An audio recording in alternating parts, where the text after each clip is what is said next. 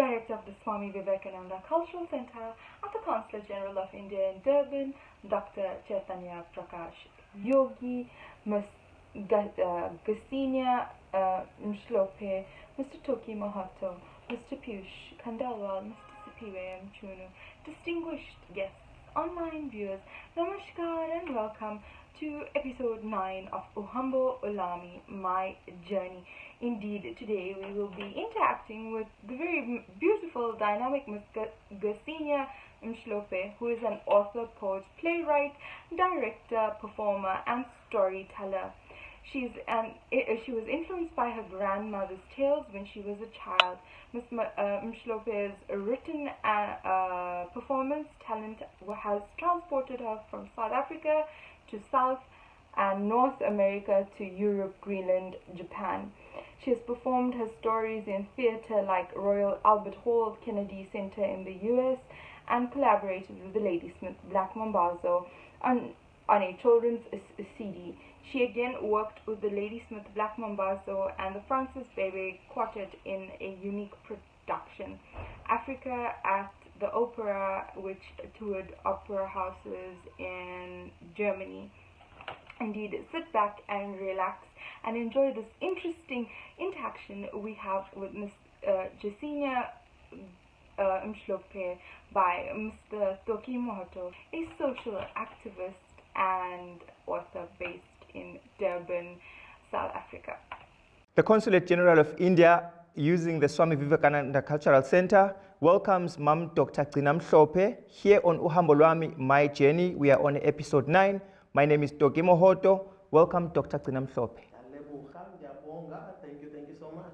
It's, it's been a long time we're trying to secure this appointment with Dr. Gcina Mhlope. It attests to her being a national treasure and being called almost anywhere and everywhere. And we felt it fit to invite a cultural icon, a heritage manager, and a great ambassador for Africa's development and human evolution in its entirety. This conversation is going to be touching on her life story, as well as her journey, as well as an icon, as well as telling maybe youngsters how to go about approaching the arts sector and who you are definitely becomes what you say to the world, but most importantly, how you live and how you express the brand that you were created to become. Without any further ado, Mam Gcina Mhlope kindly narrate the few glimpses of stories which have culminated into the icon that you are. For me, thank you so much. Thank you for having me. It's good to be here with you. um, I grew up uh, in a very privileged place, growing up uh, with a grandmother who told stories all the time. And uh, when you have a very, very curious person like me, it's either you donate her to somebody else or you behave like my grandmother did. When I came with all of these questions, she said, In fact, I do have a story about that. Mm. She told me a story and then another story and another. And she was sharpening my imagination to travel to faraway places, to go below the ocean, to go above the clouds, inside a baobab tree. I could go deep into the caves in the Drakensberg. I could go anywhere at all. I could walk into the, the rock of two holes with Dema and Demazana, so much. And then also, uh, she gave me another gift, sharpening the art of listening. It is something very special when you train your child to know and appreciate that listening is a skill on its own. The third thing my grandmother or my whole childhood did was teach me the importance of the beauty of your own mother tongue. When you look at our mother tongues, it doesn't matter what language you speak, the beauty of it, the way you can actually taste the words, the way you express exactly what you feel, because it's your mother tongue. You sucked it from your mother's breast. Yes. That's why we say Lumlebele. Yes. Because you sucked it from your mother's breast. And the beauty of our language is the musicality of it. And um, I, I carried all of that into the classroom. And I continued when I went to live in the Eastern Cape. Again, I found that I can't speak isiXhosa. I'm lost and I was in a place with the, all these mountains on either side. I'm, I'm really, really stuck. But I thought there's something that can save me. It's called a book. Hold on to the book.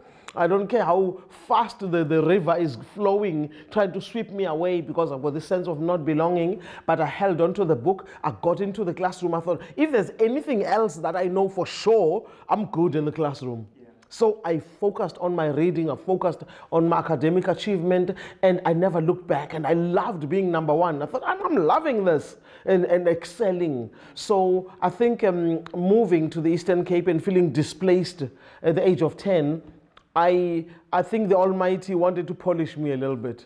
Uh, when you, I, I think we were not rich here in Hammarsdale in KZN, but we were okay. Now you arrive in the Eastern Cape, you staring poverty poverty in the face. And I think the Almighty knew that I was going to be diamond when I grow up. So I just needed a bit of polishing, a bit of appreciation what um, poverty looks like, what not having feels like, what um, understanding that uh, whatever little you have is worthy, it's something special, and having a, a stronger relationship with Mother Earth. My grandmother had vegetables. She planted this and she had the banana trees and there were, there were the flowers as well. She had all these flowers in the garden. But when I went to the Eastern Cape, whole fields of corn, mealies, and millet, and pumpkins, and beans, and you name it. And in the month of March, towards April, we call that time Ekwindla. Nobody ever goes hungry in Kwindla. Yeah. This is the time when the first fruits appear and the first beans and then the first pumpkins and the first this, there is so much food. And then the mealies, when it's still very, very soft, you cut it off the cob and you grind it with a grinding stone and you make beautiful steamed bread. In fact, I made it the other day at my house. Not umpokako, umpokako is something else, but this one you make steamed bread. Yes, yes, is for amasi and for eating with, with, the, with, the, with the curdled milk, amasi. So all of those things, I learned so many things. Even knowing how to grind with a grinding stone, eh, the little fingers get hurt, but after a while you get to know how to do it. So my journey took me to different places, but I never fell out of love with my language. I never fall out of love with the importance of reading, yes. of, of acquiring knowledge, and always being hungry for, for knowledge and being curious curious, curious. Briefly, we spoke about how many people were a bit perturbed when you decided to go full time into storytelling. What was the inspiration? Also linked to that, what inspires you when you're about to create or engage in storytelling? You, you see, my my um, moving into the creative arts came from accepting my voice. Because I thought, oh, this double bass, what am I going to do with this double bass? I prayed a lot in church. I thought the Almighty is going to hear me, and then the angel will come through, break the ceiling, touch my throat, and I was going to have a sweet womanly voice. Never happened. But the minister at my school told me that my voice is not ugly. He said, my voice is resonant. I didn't know what resonant meant. I thought the way he said it, I can live with that. And um, I wrote my first poem a few months after that and I stood up under the gum trees at the school where I was, boarding school. I was not interested so much in going to watch the rugby at the sports field with the other girls and what. Me, I was under the trees reading, reading, and I wrote my first poem. I stood up, I read it out loud. I thought, okay, that's it. Is that what he means? Resonant. Does it mean that my poems should be said and performed out loud to preserve the heritage of my people? And so I found my voice on that day. I fell in love with myself on that day, and I never stopped writing.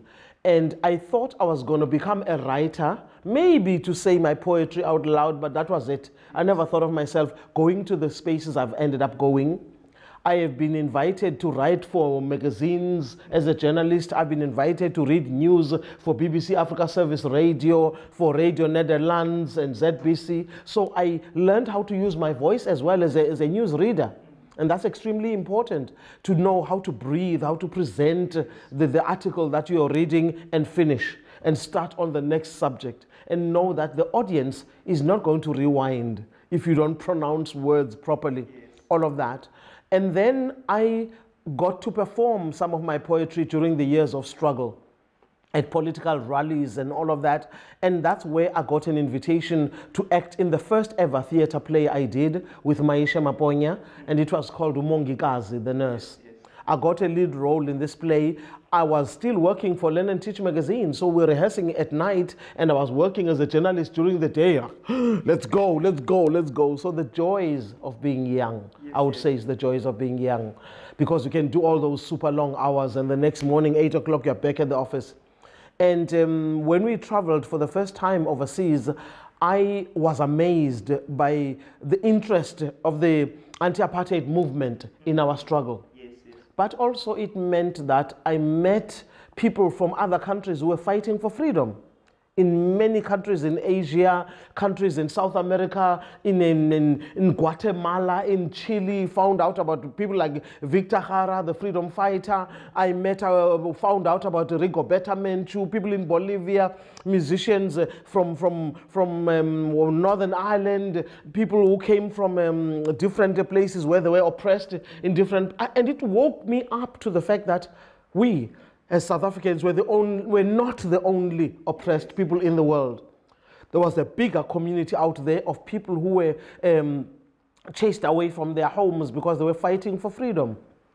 So our political um, expression uh, in the theatre world, whether it is through songs or poetry or dance or, or, or, or theatre pieces, we were always talking about uh, the, the, the, the, the pain of the oppressed people usizi lomuntu omnyama.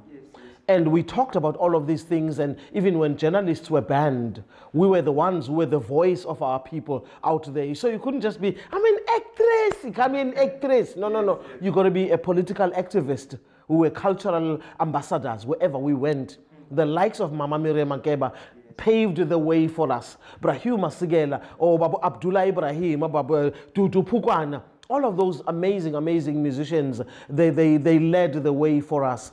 And so we understood that we were cultural ambassadors everywhere we went. So when I wrote Have You Seen Zandile, people thought it was too feeble. Yes, yes. Because it's just, it's not extreme political. There's no Amandla, there's no Viva, but it was a story that was very universal, story that had to be told according to where I was in my life. Yes, and then I directed Zandile in Chicago. I came back and then I was invited again to go and direct him. Have you seen Zandile with African Americans in Knoxville, Tennessee? So the play was going and going in different countries. Came back to South Africa and I was um, offered a resident directorship at the Market Theatre.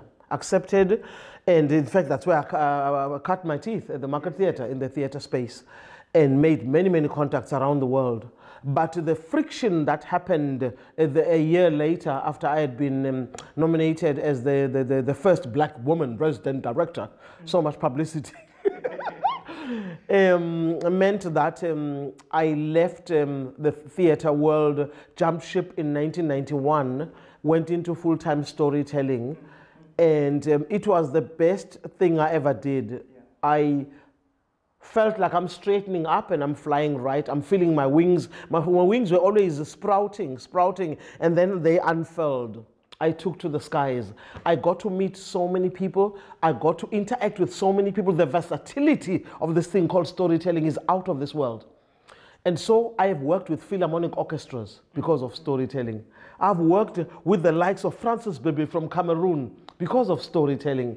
I have worked with the um, uh, Berlin Philharmonic Orchestra because of storytelling. I have done storytelling in places like Argentina. I have been to Jaipur in India because of storytelling. And so my storytelling and my, my literature, because I'm, a, I'm an author, I've written 18, 19 books so far, all of these books. So for me, the right-hand side of me is the author the left hand side of me, close to my heart, is the storyteller. Mm-hmm. So when you look at all the achievements in the past 37 years of my, of my uh, professional adult life, I will say to you the two things you can be guaranteed I will mention when you ask me, so what's your line of work? What do you do? I'm an author, storyteller. All the other things fall under that. Yes, yes. I'm always an author, storyteller. I'm never confused. Some people, when I went into full-time storytelling, were worried. They thought, oh, she's going to have a nervous breakdown. Who's ever heard of a professional storyteller? In, people in South Africa just didn't know that was possible. And other people were thinking, oh, she's on ganja. oh, maybe she's uh, smoking cocaine. And so people were very worried about me. And I thought, don't you get worried. For me, I'm answering a call. I'm being called by the ancestors and I'm answering. I'm going to do this thing. I'm going to preserve the heritage of my people through storytelling, and I've never looked back. Yes, yes.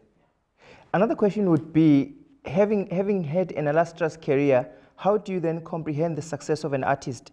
Does it require popularity or quality? Does it require the two simultaneously, or where do you feel a popularity or the success of an artist can be defined? That's a very important question because um, for me to answer that question, I have to come to this thing that I repeat very often. I say to people, you need to know the why, why you're doing something. If you don't know why you are doing something, it's like somebody who stands at the at the, the side of the road, busy, busy road, and then you're hitchhiking, you're hitchhiking, a car stops, and then the driver says, Hey, where are you going? Anywhere. Yeah. Sure, that's dangerous. you might lose your life if you're going anywhere. Yeah, the same thing applies to somebody who cannot answer the why they are doing what they are doing. So for me, being clear as to why I'm doing what I'm doing, with all the awards I've received, We've just had visitors at my house last week and they had, how many awards? I don't know how many awards. There's a lot of awards in that house. So all of these awards that I've received from different parts of the world and, and in South Africa and nowadays is the Lifetime Achievement Award again and again. Lifetime. Let's stop the river of awards, please. Can we just sponsor the organization so that I continue with my job? Can we just stop the river? That's what I'm saying. Let's stop the river of awards because many of them don't come with one cent. Yeah, true. Yeah? And so it is important to, to, to celebrate your achievements. I have achieved a lot, but that's not what I'm thinking about because there's still more to do. There's not enough hours in the day. There's not enough days in the week. There's definitely not enough time in the month or the year. So there's so much to do. And for us who are conscious of making a contribution in society, or, we, were very clear about why we're doing what we, what we are doing. And no matter how successful I become, um, I'm never feeling good saying, now I'm, I'm done. And that must be a disappointment as well to, to some of the young people who come to want to meet me. Oh, the excitement. And I'm not a celebrity. So they get very disappointed. This is just me, mother of crazy. Okay, that's, that's about it. so it's boring for them. So, but, but there are people who love being celebrities. They can go and hang out with them. Me, I've got lots of work to do. Mm -mm.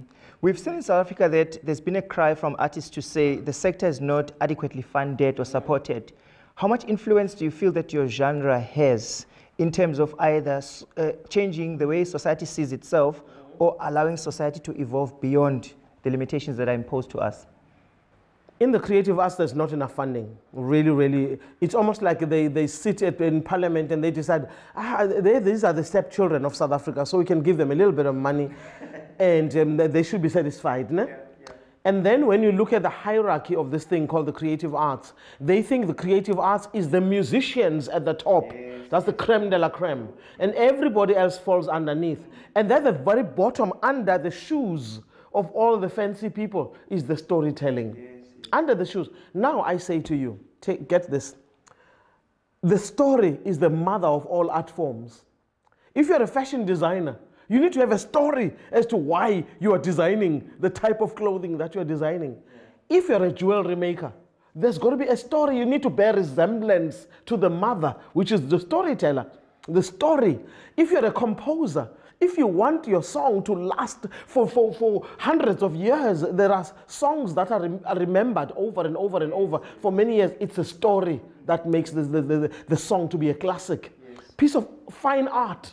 Fine art. Gerard Sekoto, many people never even met him because of the story. Baba Azari Mbatha, story. Malangatana from Mozambique, story. You understand? Francis Bebey, Cameroon, story.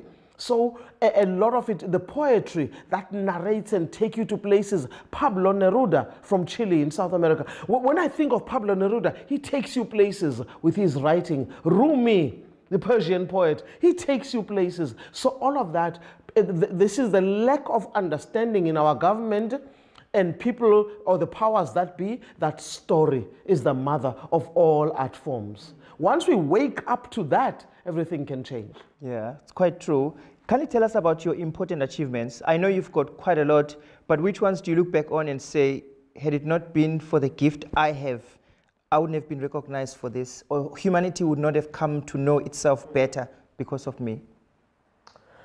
I think uh, the first international award was the Obie Award in New York. I was uh, performing Born in the RSA, And uh, when I was nominated for the Obie Award, I was excited, but I didn't exactly think I was going to win. I mean, really. I mean, who do you think you are? and you think of the other people that were nominated with me. And um, uh, so I, I, I stayed in Boston because after that, after the nomination, I got a contract with the Brandeis University. Yeah. And I worked at Brandeis for six months and finished my contract with Barney Simon. I was his assistant director. And we came back to South Africa. And then finally, there was going to be the announcement of the Obie Award. And I chose not to go to New York. I thought, you can imagine the cameras. The South African did not win, but she's smiling so gracefully. So I didn't go. And Duma accepted my award for me. Wow. I could not believe that I, Mhlophe, won the Obie Award. And then you look at the. Um, the awards we got for Have You Seen Zandile, starting with the Fringe first in Edinburgh Festival. When we did Have You Seen Zandile, you find that um, people who used to sympathize with us or empathize, whatever you call it, identify with us because we were doing political plays. When they saw Have You Seen Zandile, because it's very personal, it's very, very autobiographical, total strangers, men and women, they would come and hold me tight and they would start telling me stories. If I had a lapel mic and I was recording all the stories people told me, I wonder how many stories I would have. And, and, and because when you talk about a story that is universal like that, it's like the story of Anne Frank. You know, that's universal. You, you, talk, you talk about uh, what is another, another story that's very, very famous. Uh, Go tell it on the mountain. There's another one. And then you've got AC Jordan in Ngombo Universal you know, the, and, and so the same thing with um, Have You Seen Zandile? It's, it, has been running since um, 1985 and it's performed every year. I'm amazed by the privilege. And then I also got another award, which, you know, the, the Joseph Jefferson Award, I, I really did not expect that. I remember the, the, the, the, the, the, the people who came to see the show in Chicago, and then the actors rushed into the dress, dressing room. We got the Jeff! We got the Jeff! I'm like, I don't know what's the Jeff. Can we get ready, please? Can we just warm up our voices and go on stage? Because I don't know what's the Jeff. But it turns out to be nominated for the Joseph Jefferson Award and the, the interest, the excitement, and all of that. So, all of these things are getting the freedom of the city of Chicago as well. that was something getting the key. And also, another award that I won um, the, the, the more recent one is the SAFTA award. And even though I don't work in the film space so often, or on television that much. I've worked on television over the years, but I stepped back from television because I do a lot of live performances. I travel a lot internationally, and so TV, I can't do full-time television. I just, you know, I'm sorry. And, and most of the time I find that it's more fame than cash. So can we just do some work, especially the, the amount of, of, of, community work that I have to do? So we've done that. Uh, or receiving uh, another award that was very interesting was, um, what was it called? Uh, the Prestige Award. The Prestige Award um, uh, several newspapers in Johannesburg came together and the, the, the corporates or Nestle or Bani, they came together and they gave this very important award for 10 women who had contributed a lot. When I got the Prestige Award, I was just humbled. I could not believe it. Or Usiba, our Minister of Arts and Culture, the inaugural Usiba Award, I was one of the recipients. I was um, very honored as well to receive that. But when you think of all the awards, my goodness, it's a lot of awards. Yes, yes. I don't know how many awards really. One day we should sit down and count. We should sit down and count. I've been very, very lucky. But I think um, the people I have interacted with or collaborated with or worked with, of seeing or seen the stories that I, I do being interpreted into song or into dance productions, that for me has been unbelievable, a privilege that you cannot emphasize enough. We live in a country where a great number of young people resonate with the creative arts sector, but either due to budget limitations, due to it not being taught adequately at schools, or parents not supporting them, we find that a lot aren't giving themselves the time and potential that they have into it being nourished so that they become fully fledged creatives. What inspiration or word of advice would you give to upcoming artists? I believe that the creative arts should be very, very much a part and parcel of the curriculum in, in schools. The power of arts in education cannot be overemphasized. I think the biggest mistake the current government did was removing sport from the schools and removing uh, spirituality from the schools and removing the creative arts from schools. There's hardly any money for the creative arts. When you think of choirs in schools, when you think of uh, the, the athletics and the different, or agriculture, hello? Children don't know how to just plant a seed in the ground. So things like that, that made education more rounded. And then they came up with these things, the, the outcomes based education, and then where you tick boxes and like, how many boxes can you tick? Just unbox our children, please, somebody. Just unbox our children, give them a wholehearted education. And a lot of it has meant that children uh, don't know how to operate outside the classroom. And then it also um, made um, the parents to step back because they don't know what on earth is being taught, and there's too much homework sent to the schools and um, to the parents, sorry, sent to the parents. And the parents, I don't know what you're being taught. I've never heard of this thing. I, I really, it's almost like parents now are stupid. Yeah. Parents are not stupid. It's the type of education that has been brought into our lives, and there's a lack of the holistic um, uh, approach to, to, to, education, and the same applies to up and coming artists who are some of them naturally gifted. Mm. Naturally gifted, like many of us hardly had any training whatsoever. We jumped into the creative arts and hard work, hard work, hard work. I find that now um, there's this thing of the idols and the X Factor and what is the other one, their voice.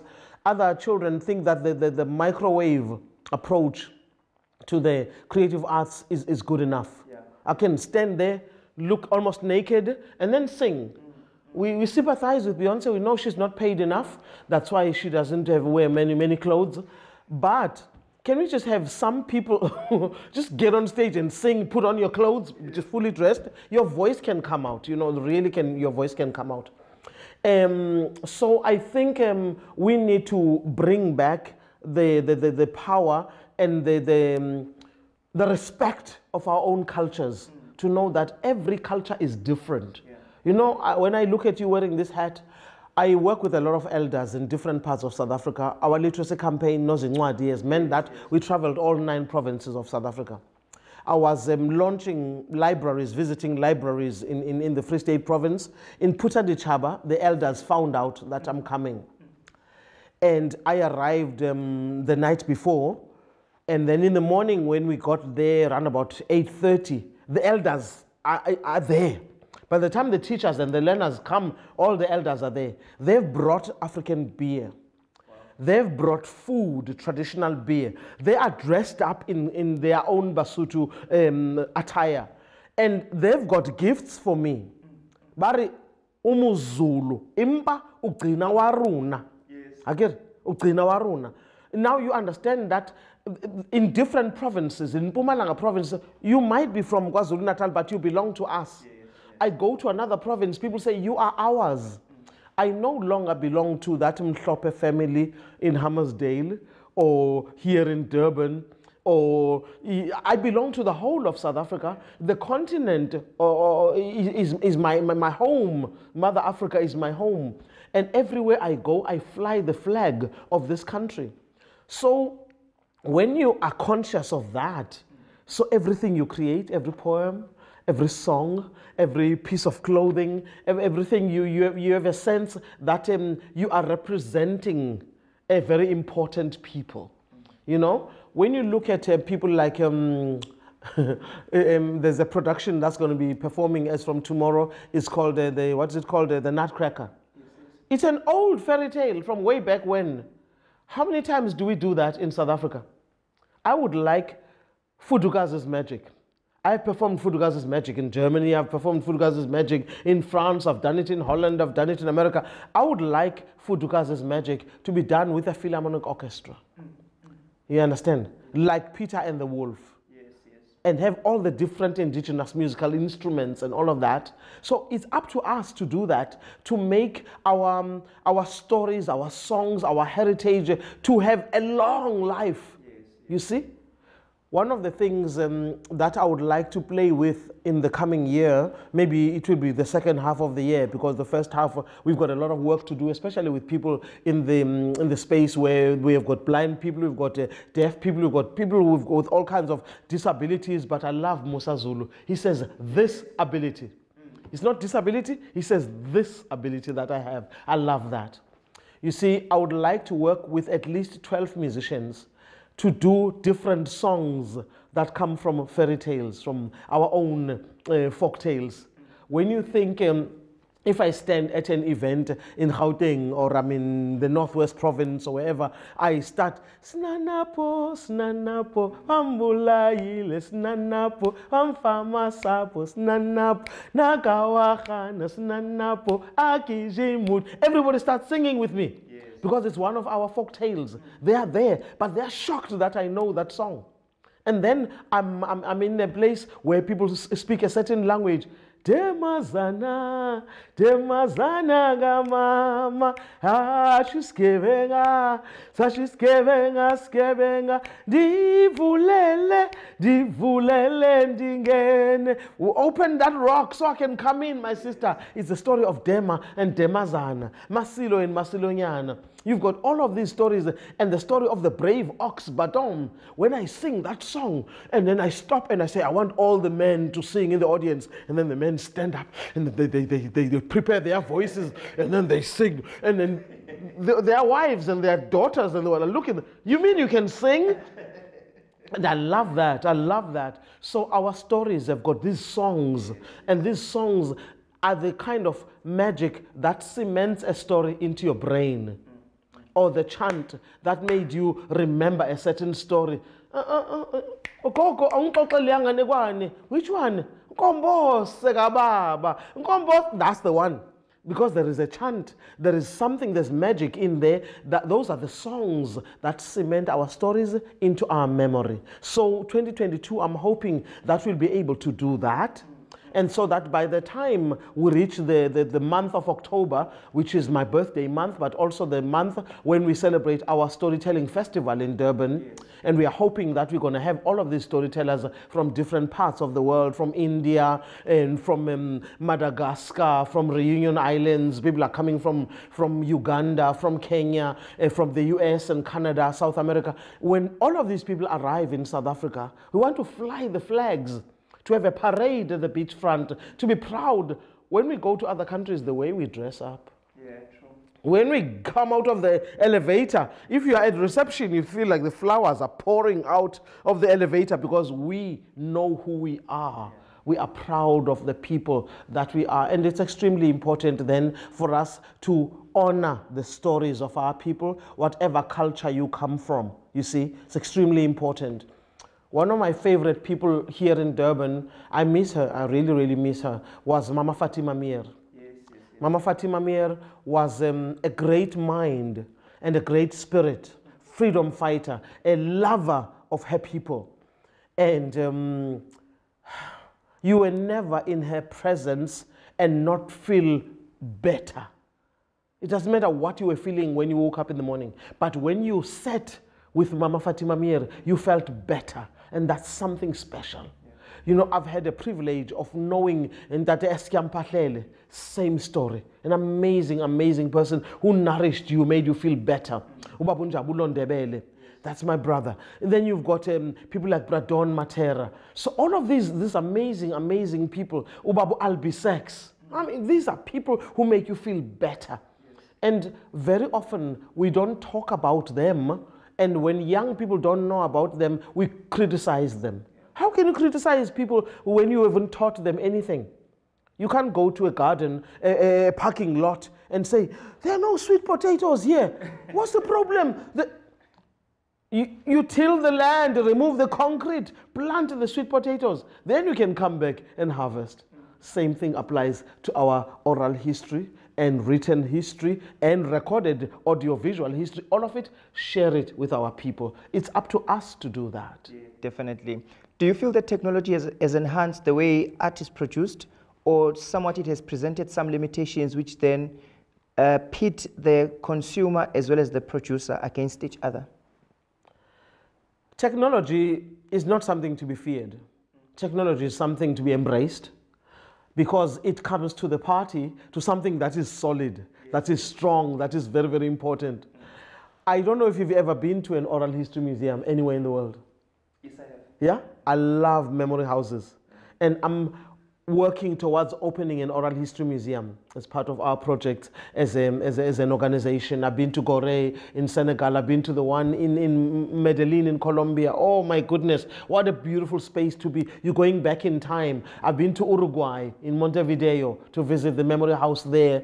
And the big coup is that um, they got the house where the last dictator of Uruguay used to live. And that's where the memory house is. That's amazing, isn't it? I think um, the, the technology that we have, all of these gadgets should come in handy.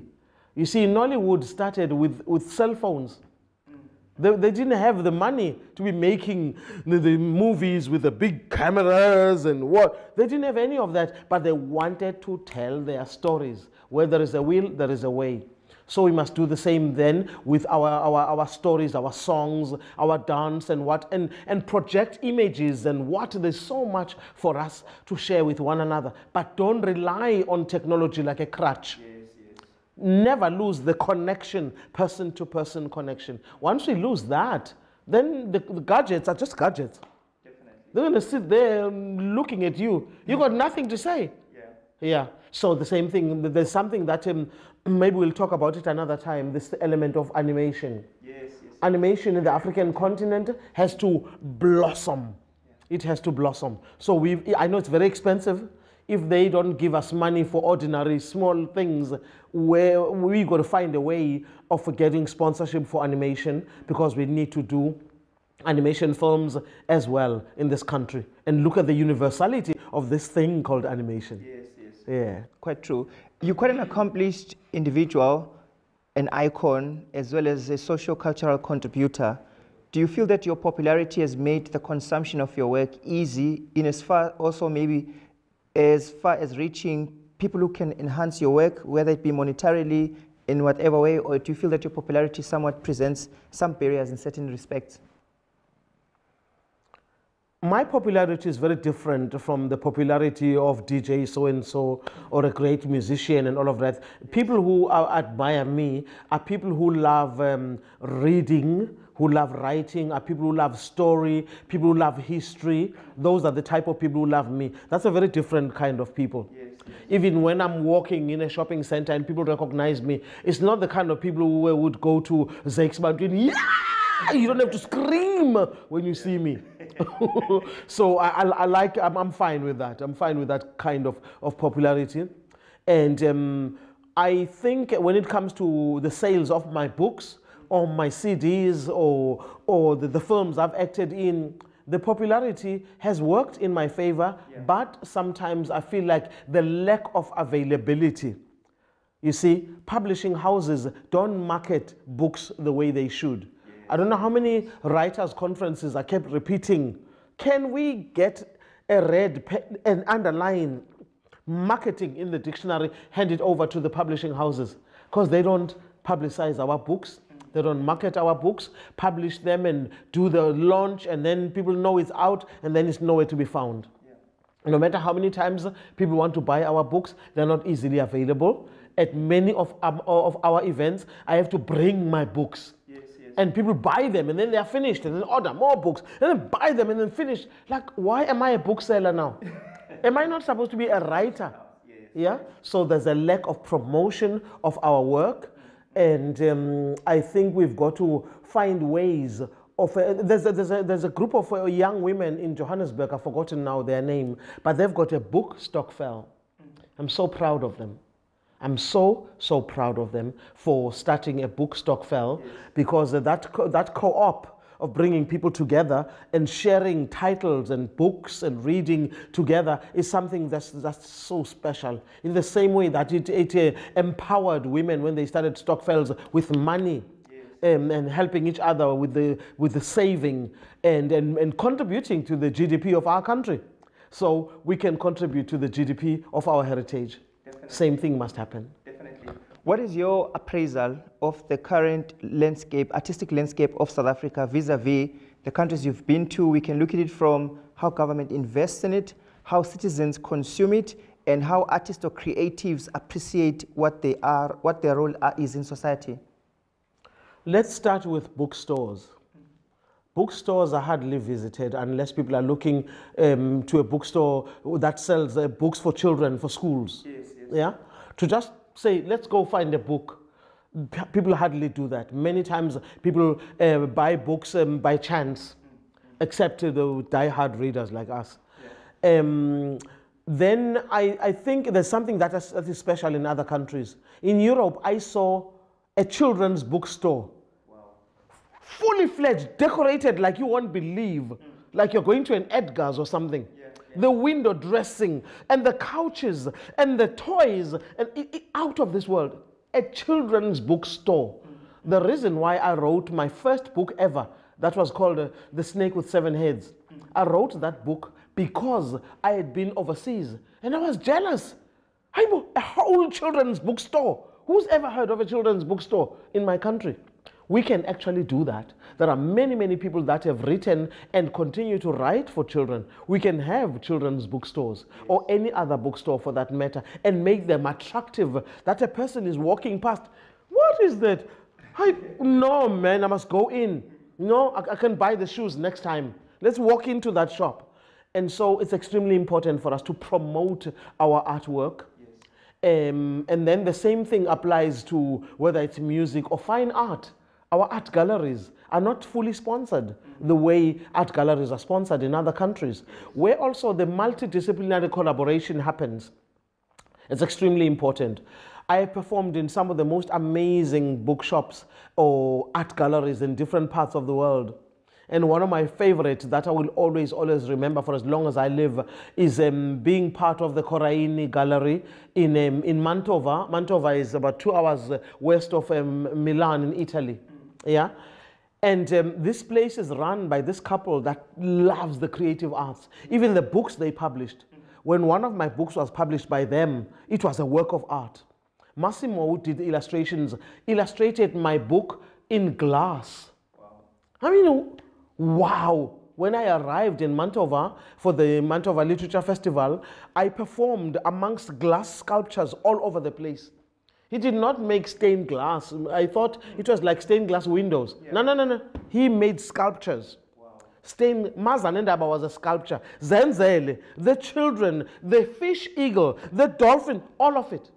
There they were on stage. How amazing is that? Mm. So every country I've been to, I've learned so much, and I wish that um, people in positions of power, when they travel to those countries, they should come back and implement and not go to those countries, make speeches, and come home, and that's that's it, you know. So the same thing that has happened with us now, I think it must have been a premonition because I cannot explain to you how this thing happened. What was driving me so much for a long time, I've been wanting to adopt a tree, to have a storytelling tree in in in in, in the city of eThekwini.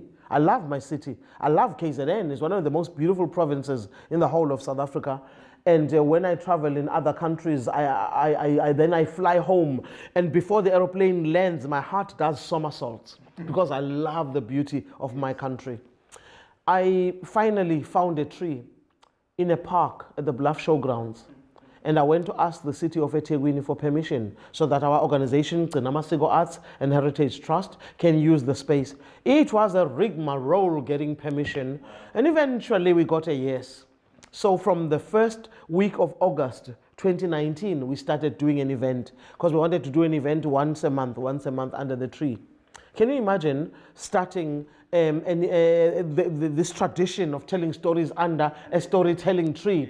It's like going back in time. Before there was a courthouse, there was a tree. Before there was a church, there was a tree. Before there was the, the most expensive concert hall, there was a tree. Before, people met in most glamorous places, uh, uh, fell in love. Oh, baby, I love you. I love you. Lovers met under a tree. And people made discussions and promises under the tree. And they, so it was like going back in time. And so once a month, we did events. And in January, we went to America for another, um, another partnership with the Isabella Stewart Gardner Museum. I've been very lucky to be one of the artists in residence at the Gardner Museum in Boston. And then um, I went with my daughter. We performed together. I perform with my daughter quite a bit these days, and I love it. And we came back to South Africa just in time before lockdown. Yeah, yeah, yeah. And we came back in February. We did a big celebration of International Mother Tongue Day, which we do we do every year on the 21st of February. Yes. Every year. So under the storytelling tree we went. And then in March we did uh, the Spirit of Light, where we honor people who do positive things in society. We went and we were invited to host it at the ICC Durban. Huh? Two weeks later, lockdown. Can't do anything. And all kinds of things got to be like on hold and we had to go back to the, to the drawing board. What are we going to do? And we thought, hey, gadgets, mos. Hey, online platforms, man. Was that Zoom, Zoom, Zoom? Was that Facebook? Was that Instagram? Here we are. I said these gadgets are not to be feared. Yes. They can partner with us. So we went under the storytelling tree with a minimal audience and performed and filmed all of that and put them on our um, online platforms. So every month we did something. We did something under the storytelling tree. And now, whether you wanted social distancing or you wanted ventilation under the African skies, under a beautiful wild fig tree, that's enough space for social distancing. There's enough space to breathe the fresh air. And we sanitized, we did the temperature reading, we did the, the, the writing down of the addresses and contacts so that we know who gets what. Yeah, we fo followed all the rules of the, the COVID 19 regulations, but we were outdoors yes. under a storytelling tree. And we continued, continued. Other people were waiting for theaters to open. Shoo, other people were waiting for stadia to open, waiting for. No, no, no, we, we, we're busy under a tree. So we did all these events throughout 2020 under a tree and slowly other people wanted to perform at my house because I've got a, a, a, peace garden at my house. There's enough space for a jazz band to perform. So we started having jazz concerts as well at my house. And so it's been fascinating, been very fascinating to be alive and, and, and grateful under lockdown, under the times of COVID-19, and also to, to be versatile, yeah. to be versatile so young people are fascinated by what we are doing because the young people were thinking, under a tree, like what's going on? What do you mean? You know how fancy I am. You know how famous I am. You know. so the International Rotary Club sent people to present the, um, the, the, the, this amazing, amazing award, an international award under the storytelling tree. Who's ever heard of an international award presented under a storytelling tree. So if that tree could speak one of these days, it will tell many stories. Yes, yes. So I'm, I'm grateful. I always say to people, I, I live on vitamin G. That's vitamin gratitude. Yes. To be alive, sitting here with you, having this conversation, having so many stories to tell, to have had this journey, and to be blessed with good health. It is a blessing. It's not because, oh, I'm doing anything right. The Almighty has been good with me. Yes, but also maybe the genes, from my family, but also I don't just eat anything. I take care of my health, I take care of my body, and alcohol can chill over there, all the ganjas and other things can chill. I'm taking care of myself. It's very, very important because the Almighty can give you good health and you eat all kinds of things and oil and what and what and too much salt and all fast foods and all of these things and then you don't know how come you're visiting the doctor so often.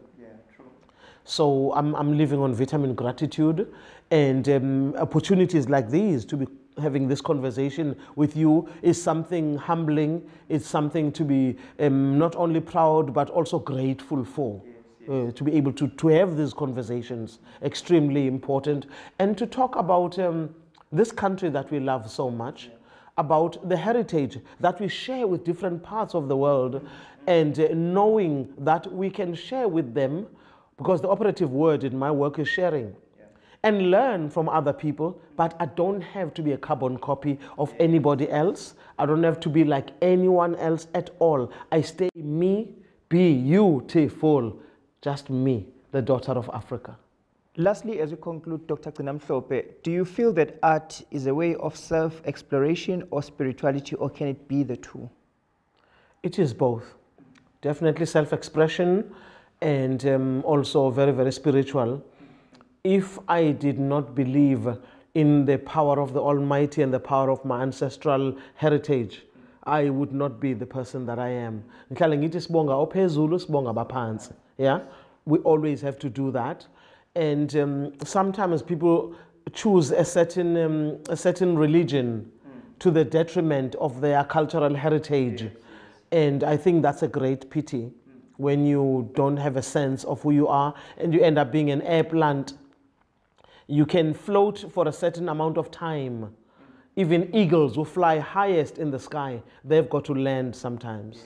They need to eat, they need to drink water, which is not up in the sky. They need to walk on the ground. Mother Nature expects them to do that. And so for me, um, our creative arts, cultural expression, and a sense of um, expressing yourself and also connecting with other people. I always say there are invisible threads yes. that make us connect with, with each other. And uh, those invisible threads connect us to one another, even though we are still in this um, here and now, but also in the future realm and also in the, in, in the space where the creator of all things um, resides, the creator who's everywhere all around us. I don't know if you know Birago Diop from Senegal. You ever heard of Birago Diop? He did something very, very special. He wrote a poem about death. And when he talks about death, he always says, uh, listen more often to things than to human beings. Those who have died have never left. They are not beneath the ground. They are with us all the time. They are in the rustling trees. They are in the howling wind. They are in the thickening shadows. They are in the leaping flame. They are in the burning ember. They are in the child's first cry. They are in the woman's breast. They are in the gurgling waters of the river on its journey to the welcoming arms of the ocean. Listen more often to things than to human beings. Those who have died have never left. They are with us all the time. And I think about that poem so often in these times of COVID, mm -hmm. both um, India and South Africa. Yes. We've lost so many people. There's been so much lack of closure because of the nature of the beast, mm -hmm. coronavirus. Um, we, we, haven't had enough time to say goodbye to the people we love. We haven't had time to be together, to embrace one another. We haven't had um, uh, space to, to, to, to, to, to cry and mourn and rejuvenate and feel the presence of those who are gone living with us again. And so all of those things. So we, we, we've gone through a lot and, and it's not over yet. It's not over yet. We're still in the throes of the storm. This, um, this COVID uh, re-manifesting itself in different ways. But we, in the creative arts, we, the preservers of heritage, we are called we are in a space where we need to help each other and ourselves to heal. And healing is a constant and a continuous process. It's not start and finish. Yes. Most definitely. This has been episode 9 of Uhambo Lwami, My Journey. I was featuring Dr. Gcina Mhlophe. Thank you so much for watching and enjoy the festive season. Wow, thank you so much, ma'am, and Tokiji, for that very interesting uh, journey, for sharing your experiences with us. We got to learn so much. How beautiful, so profound, so uh, insightful, and quite inspiring and motivating as well. I'm sure you enjoyed this episode of Uhambo Lwami, My Journey, as much as we did. Please allow me to welcome Mr. Siphiwe Mchunu from the Swami Vivekananda Cultural Center at the Consulate General of India in Durban to render this evening's vote of thanks. Namaskar. Greetings to all of you. On behalf of Swami Vivekananda Cultural Center at the Consulate General of India in Durban, I am honored today to deliver a vote of thanks on our program Uhambo Lwami episode 9. Allow me to thank our online guest who took part on today's program. Ms. Gcina Mhlophe, an author, poet, playwright, director, performer, and storyteller who had a wonderful interactions with Mr. Toki Mohoto, a social activist. You know, when I was listening to Mama Ugcina Mhlophe, you know, it, it, was very informative. And Mama sikubonga kakhulu ngakho konke okushilo and uh, siyalazi iqhaza osulidlalile endimeni yok-actor endimeni yey'nkondlo Sibonga kakhulu ukuthi sibe nawe. We have learned a lot from these interactions that you had this evening. Siyabonga to Toki Mohotoji, Baba, as always, thank you very much. We really enjoyed the uh, interactions that you conducted this evening. To Director of the Swami Vivekananda Cultural Center, Dr. Chaitanya Prakash Yogi, Mr. Piyush Khandelwal, Ms. Sristi Harinarayan, Thank you very much for taking part on today's program. To all our online participants, we'd like to say thank you for being with us this evening. For more information on SVCC uh, cultural activities, please visit ICCR in Facebook page. Once again, to Ms. Gcina Mhlophe, siyabonga mama, sibonga kakhulu, sibonga kakhulu. sibonga ngezandla zombili kuwe and also to ubaba utoki mohoto siyabonga say thank you very much for conducting such a wonderful interaction so to all of you have a wonderful evening namaskar